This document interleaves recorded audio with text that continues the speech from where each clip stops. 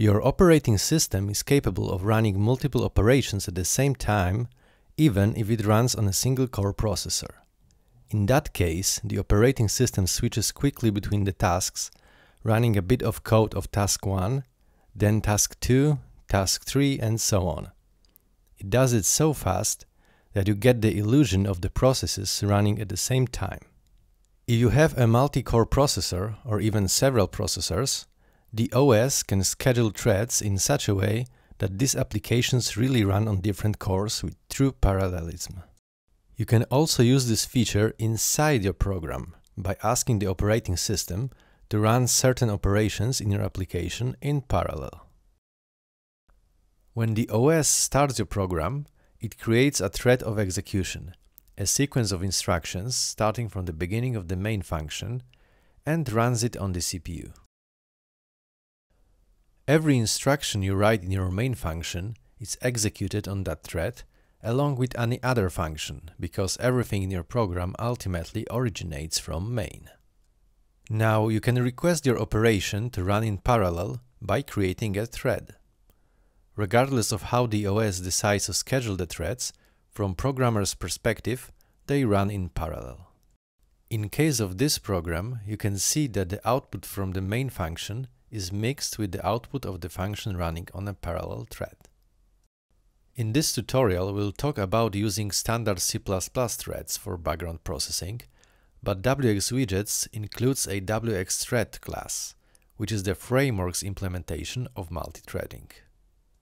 The threading support in the C++ standard library was added in C++11, so it's newer than wxThread. For me, it's also easier to use because you don't need to subclass anything, but both are essentially the same, as they use the same low-level libraries and operating system mechanics under the hood. We will explore wxThread and wxThread helper classes in next tutorials, but here we focus on the standard C++ threads. Let's start where we left off in the wxYield tutorial. There we created a CPU-intensive task that runs on the main thread. We managed to avoid the UI unresponsiveness by repeatedly calling wxYield so that wxWidgets can respond to events in the middle of our long-running task. This created an illusion of parallelism using just single thread. We also implemented a mechanism to properly handle the closing of the window when the user does that during the call to wxYield. We first reject the close event, set a flag, and finish the closing inside the long-running operation. See the wxYield video for more details on why this is needed. Changing this approach to a multi-threaded one seems simple, but there are some pitfalls we'll discuss later. Let's start by wrapping our computation in a function using lambda. First, we output the thread ID to the console so that we can see that the button click handler and the actual computation run on different threads. We create a lambda to contain our long-running task and we again output the thread ID. To then run this function on a thread, we just need to construct the standard thread object and pass the function as a parameter. The thread starts as soon as the thread object is constructed. Before we exit the click handler, we need to either detach or join our thread. Our standard thread object is a local object constructed inside this method, so it will be destroyed when the method exits.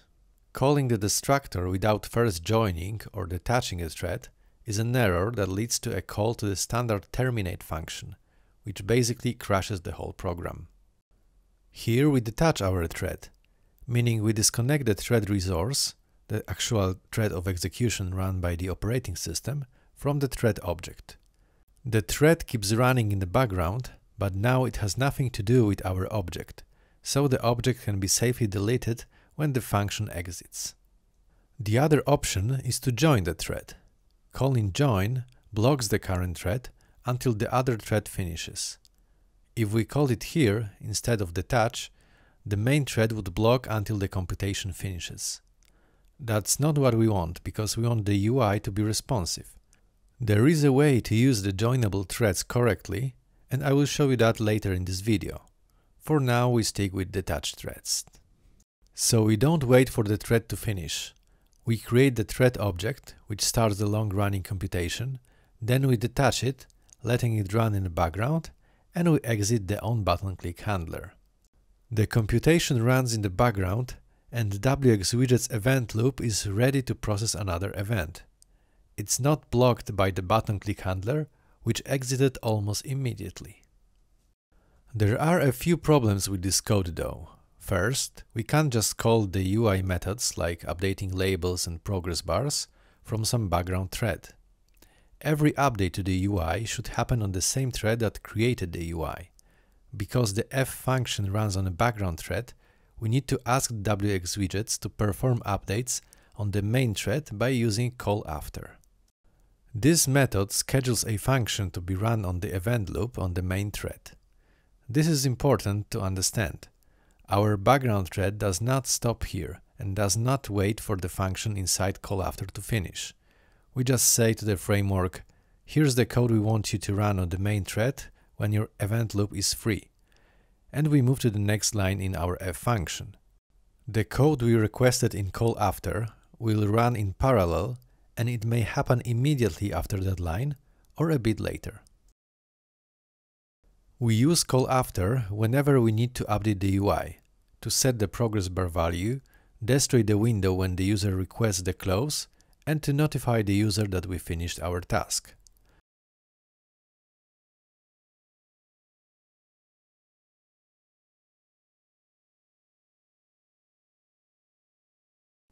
Note that we capture the needed variables by value in the Lambda declaration. That way we are able to pass them to main thread without having to worry about proper inter-thread data sharing. As you can see, the f function runs on a different thread and properly updates the UI, including the progress bar and the label. Closing the window in the middle of the operation is also handled correctly. Still, we are doing something illegal here. The bool flags we use are accessed by both threads. That wouldn't be a problem if both threads were only reading these values. But in our case, it's possible that, for example, the main thread sets the quit requested value to true in onClose, and, while in the middle of that operation, the background thread reads the same variable. This is a problematic race condition, and according to the C++ standard, this results in an undefined behavior. Also, because of how caching works, there is no guarantee that after thread A sets a variable to some value, thread B will see the same value immediately. To fix both issues, we need to use atomic variables. This guarantees that there will be no race conditions if both threads attempt to access the same variable and that all threads will see the most recent value written to that variable. We don't need to change the way we read or update these variables. The atomic template has the most of the operators overloaded, so you can use these flags just like regular booleans.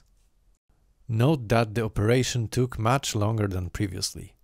Using atomics, which are a thread synchronization mechanism, does incur some runtime cost, but we can fix that easily by moving the quit check to the outer loop.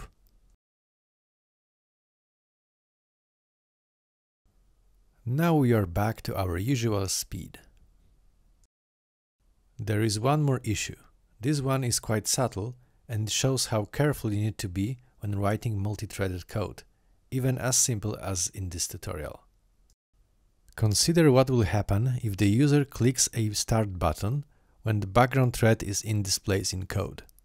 Remember that the threads do run in parallel, so unless an operation is atomic or otherwise protected by a mutex for example, the other thread may execute its code in the middle of that operation. Here in the background thread, we reset our flags in response to a quit request and then schedule some code to be run on main thread. That code is supposed to destroy the window. Now, if the user clicks the start button here, the onClick handler will check the processing variable which is now set to false. We will start the operation again just before we intend to destroy the whole window. After the window destruction, the new background thread will still be running, and if it gets to a CallAfter before the application quits, we will get the crash. We can simulate this by adding a sleep operation after resetting the flags. This will ensure that we have enough time to hit the start button at the exact place to cause the crash. After starting the operation, we click Close, requesting the operation to stop and the window to close. In the middle of that process, we click the Start button again. The flag is reset, so the new operation starts and after that, the first operation schedules the destruction of the window. The window gets destroyed and the new operation crashes while trying to access the released this pointer. To fix this, we need to move the flag resetting to the function inside CallAfter. This function will be run on main thread, so no other main thread event will be able to get between the reset calls and the destroy calls. We do the same when resetting the processing flag at the end of the operation. We use the main thread as a synchronization mechanism. Now everything is coherent from its point of view and the processing flag always correctly reflects the state of the task. Because that flag is now used only by the main thread, we can remove the atomic template.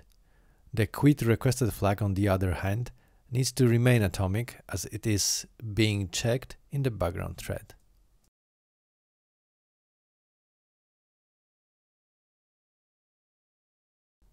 Let's see how we can switch from using a detached thread to a joinable thread. The join method pauses the current thread, waiting for the background thread to finish. We cannot call this at the beginning of the operation, because pausing the UI for the whole time the task is running defeats our objective of processing stuff in the background. We can, however, join the thread when the operation is finished. To do this, we must first declare the thread object as a member variable, so it does not get destroyed when we return from the onClick handler. Remember, if the thread object is destroyed before it's detached or joined, we get the standard terminate and our application crashes. So we need to make sure the object is alive before it's joined. We start the thread in the onClick handler as usual, and we wait for its completion in two cases. First, when the user requests the window close, and second, when the computation finishes.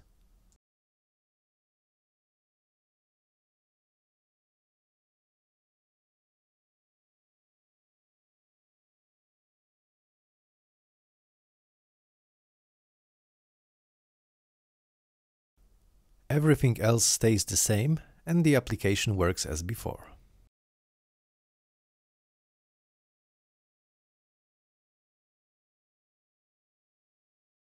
Now it's time for an exercise for you. What will happen when we reset the flags for the quit request before joining the thread and the user clicks the start button at this point? This is a similar problem to the one we had with the detached thread but the result will be slightly different.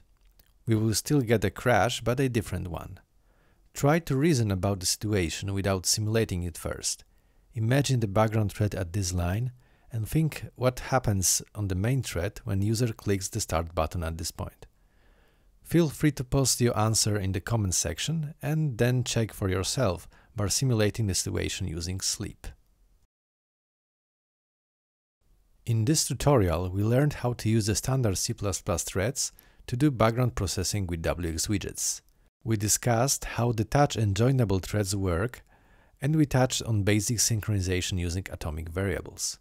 Our background thread never shared any actually important data with the main thread. For example, the sorted array was allocated, used and destroyed only in the background thread. But still we learned how careful we need to be with our code design when programming for multiple threads. In the next tutorial we'll talk about data sharing between threads and various synchronization tools we can employ to do this correctly. But for now that's it. Remember about the exercise and thanks for watching.